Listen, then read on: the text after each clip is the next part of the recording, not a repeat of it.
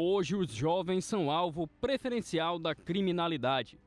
Vulneráveis, eles acabam sendo atraídos para o caminho do crime, que muitas vezes não tem volta. Mas existem iniciativas capazes de salvar meninos e meninas deste destino, dando outro rumo às suas vidas. Estamos na Vila Santa Bárbara, zona leste de Teresina, aqui pertinho do bairro do Vale do Gavião. É aqui nessa comunidade que está se desenvolvendo uma iniciativa que muda a vida de tantos jovens e a realidade de muitas famílias.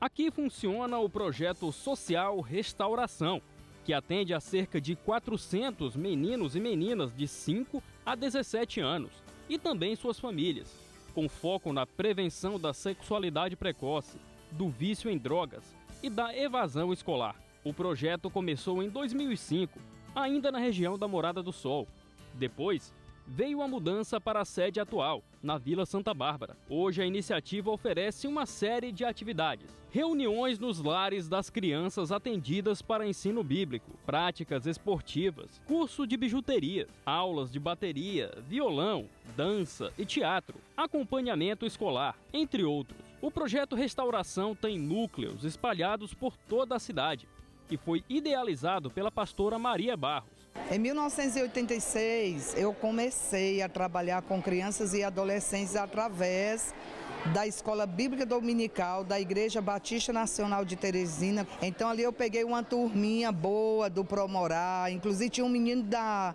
da turma do Facão. Então ali nós fomos pegando aqueles meninos e levando para a igreja.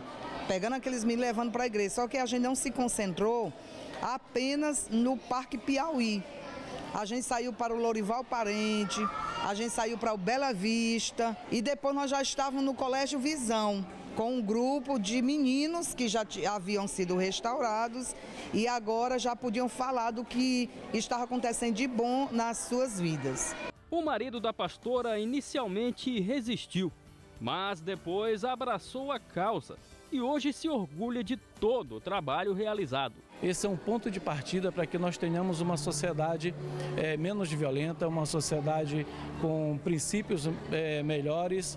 É, quando, nós quando nós alcançamos uma dessas crianças que estão vivendo em uma área de risco como essa, nós alcançamos também a família dele. Quem já foi beneficiado agora se esforça para retribuir os benefícios alcançados. É o caso do jovem Rafael Ramos, de 19 anos, morador do bairro Planalto Uruguai. Ele foi um dos primeiros jovens atendidos pelo projeto e hoje dá aulas de violão. O rapaz conta que o Restauração deu outros rumos para a sua vida. Graças a Deus eu fui alcançado pelo projeto social Restauração e pela igreja, né? E dentro do projeto temos um grupo chamado Célula, que é o que a gente trabalha agora, né? E hoje faço parte, alcanço jovens para Cristo, desde eu estar levando eles para os maus caminhos, estou levando eles para os caminhos do Senhor. Graças a Deus estou firme e prosperando. O jovem também descobriu seu lado empreendedor. Além das aulas de música, ele vende cupcakes chegando a vender 80 bolinhos por dia. A gente chega em média a vender 30 pela manhã, 30 a 40 pela manhã, 30 a 40 pela tarde, chegando de 60 a 80 cupcakes por dia. Né? Graças a Deus temos vendido é, aqui na Zona Leste, Zona Sul, já vendemos uma vez no centro. Graças a Deus os pessoal, as pessoas recebem muito bem a gente, né? eles é, conhecem também o projeto e quando eles verem a gente com a camisa do projeto, aí eles, eles compram mesmo o produto, o cupcake e graças a Deus tem dado tudo certo. Com tantas realizações, o Rafael só poderia mesmo ser um orgulho orgulho para seus pais.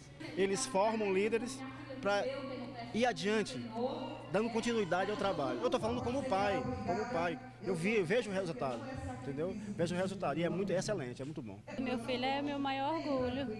Ele na minha rua, no bairro que a gente mora, ele é muito elogiado por todo lugar. Todo mundo fala: "Ah, o Rafael, você é muito Rafael". E o Rafael é uma, é uma bênção de Deus.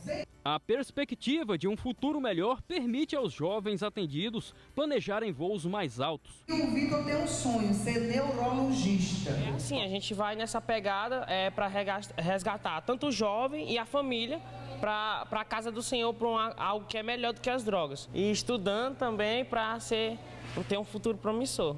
O projeto funciona através de doações, contando com cerca de 70 parceiros amigos, que fazem contribuições mensais a recompensa é o sorriso dos meninos e meninas beneficiados pela iniciativa, que promove um futuro melhor através da inclusão social.